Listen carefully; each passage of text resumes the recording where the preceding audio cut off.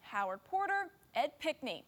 Names that will live forever in Villanova basketball lore. After last night, you can add the name of Scottie Reynolds to that list. Reynolds beat the buzzer to send the Wildcats to the Final Four. Then after the game, the junior guard provided maybe a little too much information on that game-winning play. It's something that we do every day in practice. Uh, at the end, there's uh, end of the game situations. Uh, they face guarded me, uh, and when that happens, um, Dante makes a flash to to the middle of the floor, and I make a second cut uh, away from him, going towards the basket, and um, we have a stagger going on on the opposite all right, all right. That's- on the that's- opposite side. That's, I'm just saying.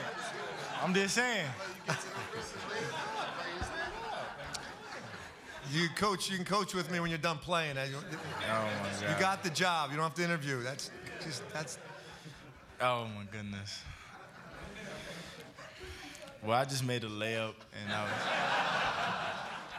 Oh, not just any layup, though. A little too much information. Coach not liking that?